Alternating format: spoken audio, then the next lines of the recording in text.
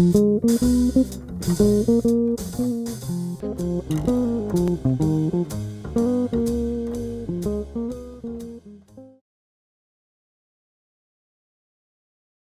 clearly have an affection for it being an alum here and feeling in some way that there's karma involved with me being back here, trying to, hoping to affect students' lives in the same way mine was affected and landed me the place where I could never have imagined ending up, you know, kind of a dream job.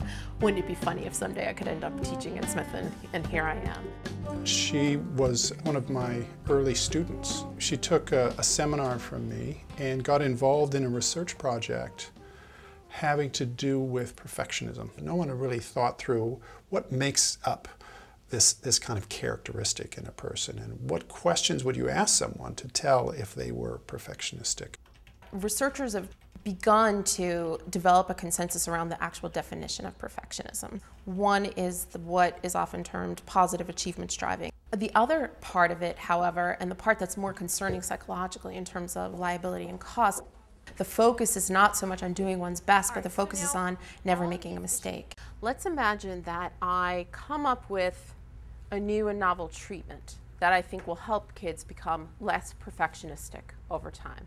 And what's really interesting in thinking about this, both in terms of kind of my own personal development, the way that I think about mentoring students, is trying to kind of maintain that positive achievement striving because it does seem to be correlated in many instances with lots of positive and, and beneficial outcomes.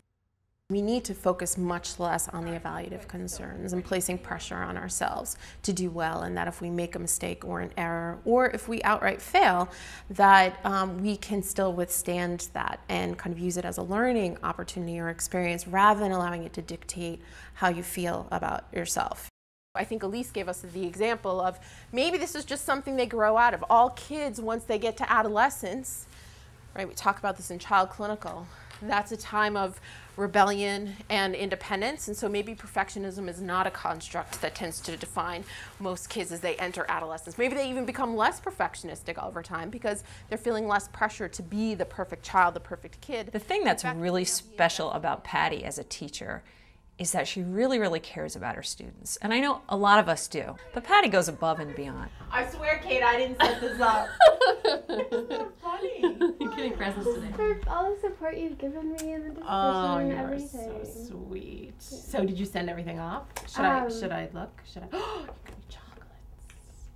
even though that she always has something going on, advisees, honors, her own research, she always finds a way to make time to be with her students and to hear their concerns. Patty would do anything to help her students get, get into her classes or succeed in her classes. The road to being or having a PhD in clinical, clinical psychology is long and I want to have a family and what am I going to do and how am I going to do this and should I do something differently and she's like, you know, people do this all the time. and I was like, okay, you know, if people do this all the time.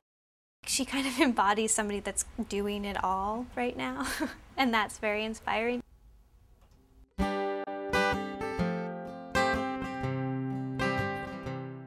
I'm married. My husband and I have been married for 14 years now. He came here to Northampton with me when I got the job uh, here at Smith. Battle of Hastings. We have two lovely children. Jack's 10 and 1066. Emily's 7. We just got a new puppy. Um, Quincy is a black lab. It's now 11 weeks old. So outside of Smith, uh, mostly it's family time. Mommy? Yes. Do we have anything after school except dinner? I mean, yes. Today's a busy day. I mean, except ballet. Ballet, soccer, ballet and soccer, and dinner. Seeing somebody who has been in my place finally and sitting in the classroom realizing that she truly understands what you're going through.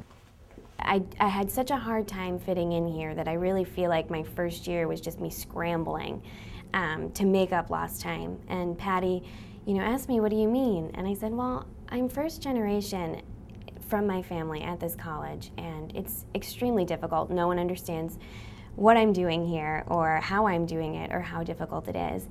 And I was so comforted in knowing that Patty was also a first generation in her family. When I was a first year student, I went, oh my goodness, I shouldn't be here because I'm not getting A's on my papers, because I'm not even getting B's on my papers. My very first written assignment here at Smith College, I got a D minus. So I like to mention that I'm a Smith student, and look, I wasn't the top student when I got here. I became a good student because of Smith College. When she left Smith, she went to graduate school. And when she came back, she was much more of a colleague. If anything, she was as much a mentor to me at that point as I was to her. When I came here 10 years ago, I was six months pregnant with my first son. She was also, she was six and a half months pregnant. We had our babies two weeks apart and became very good friends after that. She cares very deeply about teaching well and making sure students leave her classroom with some skills that they didn't have when they came in.